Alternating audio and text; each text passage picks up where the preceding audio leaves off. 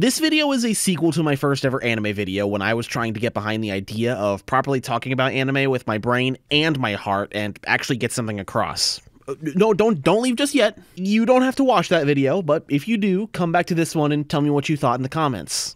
Hell, double comment on this one if you want. I'd love to hear what you think. And hey, if you want to see more videos like this, maybe leave a like and subscribe to the channel to never miss another upload. It helps way more than you know. It's not like if we get wasted in here, we disappear forever, right? Uh, besides, I have three lives.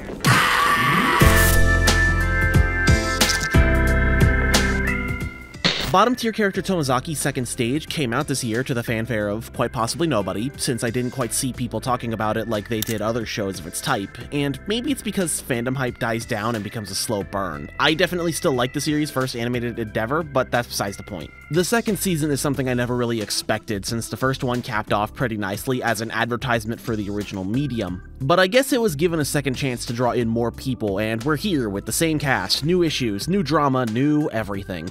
For those that are here, in case you need it or are just watching this video, first of all, thank you. Second, I'm just gonna refresh your brain on what went down in the original series without going too deep into it. The titular character, Tomozaki, is an absolute fucking loser. He does not take care of himself, barely cares for his appearance, his family is outwardly disgusted by him, and is overall not an attractive person. His one claim to any sort of fame is being the number one Japanese player in this universe's equivalent of Super Smash Bros. He eventually meets up with the one person who rivals him, number 2, which just so happens to be one of the most popular girls in his school. She is immediately disappointed in him, and he goes off on some incel type shit about how she was gifted her everything and he had nothing. Understandably taking offense to this, she proves that she meticulously calculates her outward appearance, physically and personably, to her advantage, and then makes it her mission to elevate this guy from drowning in Axe body spray to tastefully using Scentbird, who isn't sponsoring this video, I just kinda like their product. Dude, it came in this little drawstring bag, I love it. The major conflict in this series is generally just the struggle of someone restructuring their life by utilizing the logic of a video game in order to properly process the whole thing. I, for one, as an autistic king, kinda jive with that. It's embarrassing to say, but I've definitely used that sort of logic in order to explain how my brain works sometimes. The most important thing that I found issue with was this overemphasis on romance, which is weird coming from me, I know, but the main heroine of the series had this bug in her about it, stating that it was necessary for growth, and yet she didn't explain why. It made no sense to me. I personally didn't understand why it caused a falling out, but all was okay in the end, and I could see sparks fly between the main character and the main heroine. No matter how things end up, even on the unlikely chance that these two become a romantic pair, I think their friendship, despite being built upon mentoring at the beginning, is engaging to watch, and that's what kept me interested in the second season. With most of the lessons being passed through to Tomozaki by this point in time, Hinami apologizes for enforcing such an inane requirement of a confession without meaning and pivots to a couple of different points. One still involves romance, but that's more apparent throughout the actual character interactions throughout the second season. One thing I like is that by the start, two characters have begun to date in earnest, those being the quote unquote original antagonist and this girl, Yuzu. She had previously shown interest in him, but they finally got together after Tomozaki taught her how to actually play Smash Bros. on a somewhat competitive level. The thing I really like is that things are progressing, as they should in any story, and there actually is an attempt at addressing a problem I had in the first season. I can't fault a series for taking time later in its overall story to delve into other characters and their personalities and how they shape up along with the rest of the cast. I can fault the first season of the anime for placing seemingly equal importance on one character and then not following up with that. Chief complaint I had of this was that out of the girls featured in the opening of the series, aka the ones you'd expect to be the most important to the story being told thanks to years of watching anime, Tama was barely utilized. We don't understand much about her, and she's really only there as a vehicle to talk about Minami, which is fine if she was there for that purpose and there were other characters like that, but there aren't. For that reason, Tama's entire story arc so far was the front load of the second season, and I put emphasis on load because it's like half of the damn show. I appreciate it, not for nothing. I like how it relates to the fallout of characters getting into relationships, how things change, and how meaningful it can be when you're a bunch of high schoolers and your emotions are running at a high. I feel like I say this every time I talk about an anime that features high schoolers, but I feel like I have to say it. I may not remember much of the actual events, but I remember the emotions, and they meant everything to me back then. So I imagine that, to these characters, they're feeling it too. The part of this that I think is interesting is how, in a sense, this part of the anime, and really all parts of the story that seem to focus on interpersonal drama, are really about feeding into Tomozaki's growth as a person. Tama literally asks how Tomozaki made such a turnaround, and without saying who caused it, eventually teaches her how to reorganize her way of thinking and come out on top of a conflict. This comes at the cost of alienating Hinami from the discussion because her methods are purely selfish and almost manipulative in a sense. It's an interesting thing to see her character be portrayed as manipulative and almost evil. Antagonistic is the better word because, for lack of a better way of explaining things, that's what she's outwardly doing. She puts on a lot of facade, the only person to really see it being Tomozaki. She coaches him in also putting on a mask, literally at the beginning, but also figuratively. Manipulating situations to his advantage, controlling the room to be firmly about him. She's ultimately coming from a good place, but it's still really engaging to watch how she's able to use the skills she's trying to teach to Tomozaki, but in a purely selfish way but maybe I'm reading too much into it. Regardless, this part of the story, can I even call it an arc? This part of the story really addresses the fact that I thought Tama was left out, and not for nothing, I like that a lot. The only thing I didn't really like was the overall length, and yet I powered through it. It felt drawn out until the end when she pulls together a fake Napoleon complex and makes a joke out of it. I could have gone without it, but maybe I'm just crazy. I liked seeing how she was treated next to characters we already know and love, those being her best friends in Hinami and Minami. If you haven't, I want you to go watch the show, which is why I'm not saying too much, but you get the gist. Most importantly of all, I like how this second season expands on the relationships already formed from the first season. The first season had this really cheeky forced romantic moment where Tomozaki and Hinami are in each other's arms and the tension, genuinely, it feels like it could be cut with a knife. They get the same kind of tense moment, but in a different way when it comes to Minami's burgeoning crush on Tomozaki, when she does her normal thing of being physically affectionate with a headbutt while saying something dumb, calls him sturdy, and look at this framing. I actually like that she's arguably the person who's most likely to develop a crush on him because throughout the series, she spends quite a lot of time at him. She spends quite a lot of time at him? I wrote that.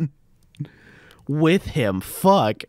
I actually like that she's arguably the person who's most likely to develop a crush on him because throughout the series, she spends quite a lot of time with him. This line, this one about respect, that one hit me like a truck.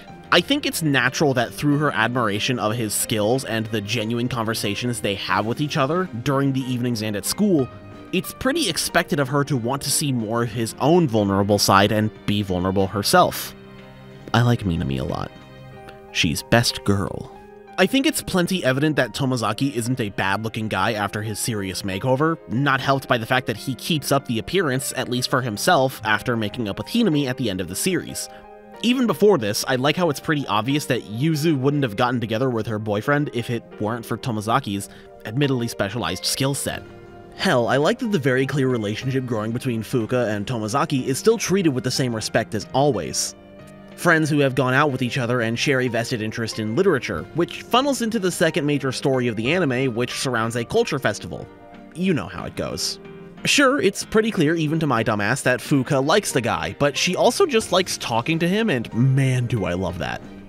I like these two. This is something from the first season, but I like how consistent that Tomozaki is named across the series from his friends. Minami calls him Brain because he's a genuinely smart guy. Takei calls him Army Boy because, well... Ah! Yes! This is my rifle, this is my gun, this is for fighting, this is for fun! What the fuck kind of cliffs am I putting in these episodes, bruv? Though, maybe I'm just hearing it wrong, but the Japanese sounds like he's saying puppy rather than army boy, but I have very little knowledge of Japanese as a language. The main thing that catches me off guard, and some of the characters, is Mizusawa intentionally calling him by his first name with no honorifics. It started in the last season, and oh boy, did it come out in two ways. It's a sign of love of all sorts, or it can be seen as a sign of disrespect, and I think Mizusawa means it both ways. The way it's delivered, and yet the air of respect from both characters toward each other. Mizusawa is probably the guy closest to Tomozaki in all of this, mainly because one sees the other as a rival of sorts, but that's besides the point. There's a touching scene in episode 8 that really shows how impressed Mizusawa is at Tomozaki's growth as a person. Someone who made rapid change on themselves for the better, because maybe everyone low-key saw him as a slouching loser and that wasn't a good look. I think one thing that I straight up don't like is still is this insistence from Hinami that Tomozaki has to choose a girl, or rather girls, that he wants to pursue in a romantic sense. Maybe it's because I'm over it as an adult with bills, please help me out because I need to eat, but I don't think I've ever placed such an importance on getting a girlfriend in my life. Don't get me wrong, I wanted one, but I was just a guy at school. I had my friends, I was a bit weird, but even the normal people in my friend group weren't out there doing more than calling girls cute and passing during lunch, and then we'd proceed to play Magic the Gathering. Oh, okay, maybe I wasn't normal. I grew up and started playing shit-ass games like Final Fantasy XIV, but the point stands! I don't like that Hinami's prime goal is getting this guy a girlfriend. Like, she puts herself on the table, but I don't think she meant that. And hell, during one of their talks, she calls herself a sore loser, rapping back on her motivation for doing this in the first place. Maybe I just don't understand. That's fine. I'm eight years out of high school, maybe I'm just old. I can never find a reason for insistence on romantic partners being the only thing that makes you a normal person or somebody worthwhile. The pursuit, or the want of being pursued, is normal, but it's the reliance on it to be considered normal and successful is what puts me off. And I'm a straight guy. Someone's favorite, in fact. That's my problem with the series from a major standpoint. I don't think that a reliance on that sort of thing, especially from a character who doesn't have any outward romantic interest despite having all of the pieces lined up to have a boyfriend, can be the one espousing the ideal of going after women and dating them and blah blah blah. I understand that this is a romance anime, it's part of the drama, and it's part of the reason I, and many others, are watching. There comes a point, however, where the chemistry from the characters is enough to sell me on their friendship and potential partnership. Why does there need to be an external motivating factor such as being normal? Isn't our main character actively making strides in being a likable person enough? I don't know. There's a part of me that thinks that a major theme of this series is a buildup of self esteem and confidence in yourself and making yourself more attractive in more ways than just physically. Mizusawa says it attractive people attract people. And even though I myself have been described as ugly by even obscure films like the 1998 re release of Grease featuring John Travolta, wait, that was re released in 98? Oh, no wonder I had a VHS of it. The point is that over the years of my building self confidence, I've seen more people want to be around me because I've made strides to be better about myself. I've even made a little promise to a certain pink rabbit, who will not be named explicitly here, that I would work better on talking bad about myself because, shit, I'm their friend. I shouldn't be talking bad about that guy. Fundamentally, at the same time, I realize that due to the nature of what this show is about, romantic drama is kind of the point and the focus and what could spark some character growth. I'm not immune to that thing being satisfying in a story that I'm reading, but I am saying that, damn, I wish sometimes that a story would treat having friends as satisfying as having a romantic partner. It's why, despite the elements of romance being there, I thought it was a good message in 2.5D Seduction that Lilisa and Okumura were better as non romantic partners rather than a boyfriend and girlfriend.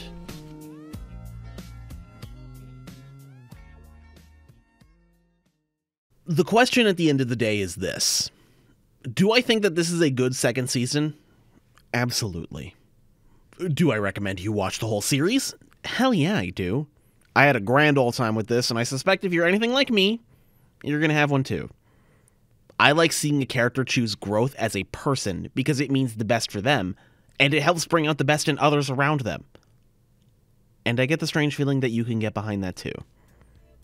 With all that said, my name is Sonata. Thank you for watching.